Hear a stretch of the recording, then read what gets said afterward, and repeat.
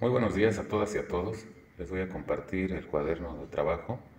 de la materia de Historia 2 de mi alumno Efraín Mateos Villa del segundo A. Esta es la portada del tercer trimestre y aquí mi estudiante ilustró con estas imágenes. Este es su separador, este que estoy moviendo en estos momentos. Es el separador del cuaderno de mi alumno y me llama la atención la forma creativa en la que elaboró este material. Igualmente se los comparto para que lo tomemos en cuenta, tanto maestros que me hacen el favor de ver estos videos, como alumnos que observan los cuadernos de trabajo. Uno de los primeros trabajos del tercer trimestre fue investigar acerca de la vida y obra de Ricardo Flores Magón. Igualmente investigamos acerca de, unos, de uno de los principales protagonistas del siglo XIX, de Antonio López de Santa Ana, un presidente que ocupó el alto cargo de la República en 11 ocasiones y que lo mismo era liberal que conservador o monarquista. Entonces, este político pues, fue protagonista de la primera mitad del siglo XIX y alguna vez un escritor lo llamó el seductor de la patria. Aquí mi alumno dibujó y coloreó a Antonio López de Santa Ana, quien terminó su actividad política, su participación, haciéndose llamar su Alteza Serenísima, hasta que la revolución de Ayutla lo derrocó y dio paso a otra etapa histórica de nuestro país. Y precisamente en los siguientes días estudiamos el plan de Ayutla, eh, un documento y un plan de acción que convocó a levantarse en armas en contra del dictador Antonio López de Santa Ana. Ya corría el año de 1853, 1855, y pues se convocó a su derrocamiento para dar paso a un grupo de liberales que realizaron una actuación muy interesante en la historia de nuestro país. Se le solicitó una imagen que diera cuenta de esta transición de un México decimonónico que transitaba hacia otros escenarios y mi alumno dibujó y coloreó esta imagen en donde la transformación simbólica indica también los cambios que estaba sufriendo México en este entonces. A través de este esquema estudiamos a los integrantes destacados del Congreso Constituyente de 1856-1857 entre los que se encontraban Melchor Ocampo, Ignacio Ramírez, Francisco Zarco, Ignacio Manuel Altamirano, Guillermo Prieto, Vicente Riva Palacio, José María Iglesias, entre otros. Asimismo, estudiamos las leyes de reforma, la llamada Ley Juárez de 1855, la Ley La Fragua del mismo año, la Ley Lerdo de 1856, la Ley Iglesias de 1857, la Ley Ocampo de ese mismo año, la Ley Orgánica del Registro Civil de 1859, la ley de cementerios, también de matrimonios y de días festivos, la ley de nacionalización de bienes eclesiásticos de 1859, la llamada ley sobre libertad de cultos de 1860 y la ley de hospitales y beneficencia de 1861, junto con la ley de comunidades religiosas. Este fue el esquema que realizamos en clase. Les grabé un video en nuestro canal de YouTube, Alex Medellín, respecto de la guerra de reforma o la guerra de tres años y realizaron algunas actividades para comprender el tema. Elaboramos un mapa de la República Mexicana para distinguir los territorios ocupados por los liberales y por los conservadores en esta llamada guerra de tres años. En unos renglones les pedí que anotaran su opinión acerca de esta guerra entre liberales y conservadores, el papel de la Iglesia Católica y la crisis política que existió eh, a finales del siglo XIX. Eh, en la pugna entre liberales y conservadores surgieron dos documentos de carácter internacional, no ratificados, no válidos, pero que sí tuvieron una intención, el Tratado Maclean-Ocampo y el Tratado Almonte. El primero eh, pretendido por los liberales y el segundo por los conservadores. Prácticamente de manera inmediata al fin de la Guerra de Tres Años, un nuevo acontecimiento cubría el suelo republicano, pues un grupo de conservadores acudió a Europa para hacer la invitación a un príncipe europeo, a un integrante de las familias reales, para que gobernaran el país. Entonces en México se establece el llamado Segundo Imperio e inicia la resistencia republicana liberal. Y aquí a través de una historieta, mi alumno plasmó este llamado Segundo Imperio, esta guerra, otra más de México en el siglo XIX y la resistencia que se inició para expulsar a los invasores. Aquí finaliza la historieta de mi alumno, en donde eh, Napoleón III apoyaba estas intenciones monárquicas en el país, esta ocupación, concluye la guerra de secesión en los Estados Unidos y ahora sí de manera abierta nuestro vecino país comienza a opinar, a participar de estos eventos. Benito Juárez inicia un gobierno itinerante por todo el país para evitar caer prisionero de las fuerzas de Maximiliano y eh, finalmente eh, Carlota, al retirar Napoleón III su apoyo, eh, sale en la búsqueda de ayuda europea y pues no logra tal propósito. Maximiliano es fusilado junto con otros mexicanos y con esto en julio de 1867 se da fin a la ocupación e inicia lo que se conoce como la República Restaurada. Al final del estudio de estos temas, le solicité una especie de ensayo respecto de esta etapa muy agitada de nuestro país, muy crítica, eh, no solamente de una guerra civil, de una guerra interna, sino también la invasión extranjera. Y aquí mi alumno pues anotó sus opiniones. De manera rápida vimos la restauración que pretendió Benito Juárez de la República, su enfermedad y su fallecimiento, la crisis política que se generó entre Porfirio Díaz y Lerdo de Tejada. Eh, esta situación llegó al arribo al poder por parte de Porfirio Díaz Mori y comenzamos a revisar cómo en una sucesión de elecciones y reelecciones pues se convirtió en una dictadura, cuando México siempre pues había pretendido una vida democrática. Quiero destacar este dibujo coloreado que mi alumno realizó respecto del fusilamiento de Maximiliano. Le tituló Fusilamiento de los 3M porque les explicaba que fusilaron a Maximiliano de Habsburgo, también a Tomás Mejía y a Miguel Miramón. Todos tienen de alguna manera incluida la letra M en su nombre o en su apellido. Al explicar el desenlace que Carlota tuvo en esta intervención,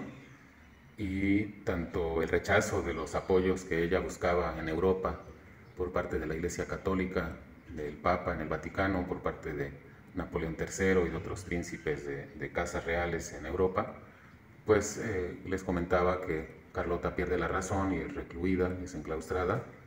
en donde va a fallecer hasta el siglo XX. Entonces, este, mi alumno aquí eh, ilustró este, este encierro, este aislamiento de quien fue emperatriz de México.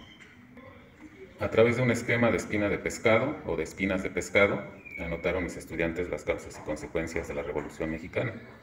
Por un lado, las causas y del otro lado, las consecuencias de este proceso histórico, de este proceso social que amaneció en México en el siglo XX. Posteriormente desarrollamos parte de las causas que dieron paso a la llamada Revolución Mexicana. Por un lado, la consolidación del porfiriato, de una política eh, basada eh, en la ciencia, entre comillas, pero con un atraso significativo en la parte social. Igualmente, a través de una tabla de dos columnas, anotamos el desarrollo económico que se vivió durante el porfiriato y el desarrollo social, para que contrastaran el progreso en un sector de la población eh, minoritario y por otro lado las grandes necesidades sociales que se estaban presentando.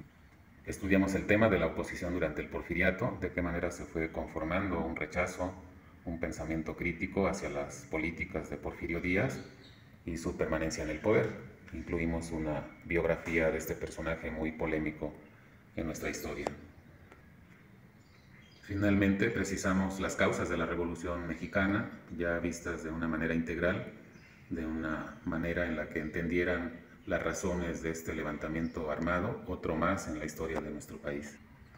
Estudiamos tanto el inicio de la Revolución Mexicana, que mi alumno plasmó en este esquema, así como también el desarrollo de este evento, de esta lucha armada, otra vez entre mexicanos, unos que buscaban una transformación del país y otros que buscaban pues conservar ciertos privilegios. Y al centro colocó la bandera del movimiento, sufragio efectivo, no reelección. Por medio de un esquema de serpiente en el que su movimiento eh, plasma, refiere el ascenso o descenso del movimiento histórico o su estabilidad, lo que da forma a una serpiente para entender estos eventos de la Revolución Mexicana, porque no hubo uniformidad ni fue una historia lineal, lógica, sino que enfrentó a caudillos con diferentes puntos de vista y en este caso iniciamos con el gobierno de Madero hasta llegar a la decena trágica. Miren, el movimiento del esquema de serpiente refleja la historia del país con sus altibajos, con sus periodos de crisis y le da forma a este esquema. Posterior al asesinato de Francisco y Madero y de su vicepresidente José María Pino Suárez, entre otros, plasmamos la guerra de facciones entre constitucionalistas y convencionistas, y entre otros caudillos que fueron surgiendo como el zapatismo, el villismo, el obregonismo, el carrancismo, y también en esta imagen, pues el alumno refiere lo que estaba entendiendo de este proceso histórico. Igualmente, con nociones del esquema de serpiente, describe este, este movimiento y finalmente, en el esquema, se llega a la publicación de la Constitución de 1917. Usamos un cuestionario para estudiar este periodo de la Revolución Mexicana, prácticamente en su etapa final, para llegar a la década de los 20, pero quise que conocieran estos eventos, estas guerras, estas luchas entre caudillos, la muerte de Carranza, de Zapata, del propio Francisco Villa, la publicación de la Constitución del 17, el grupo del norte, el grupo sonorense, cómo se fueron conformando, integrando y finalmente pues disputando y peleando el poder político en el país. Después del cuestionario, eh, elaboramos una especie de cronología de línea del tiempo vertical para precisar estos eventos, para identificarlos de manera plena en el tiempo, eh, porque de repente nos es difícil como estudiantes comprender todos estos sucesos históricos. De repente me decían, este, profe, quiénes eran los buenos, quiénes eran los malos, por qué se estaban asesinando entre ellos, por qué la traición a Zapata, por qué la, la muerte de Carranza, cuando pues era uno de los jefes de la Revolución Mexicana, y pues a través de esquemas, de líneas del tiempo y cronologías fuimos despejando estas dudas. Finalizamos el estudio de este periodo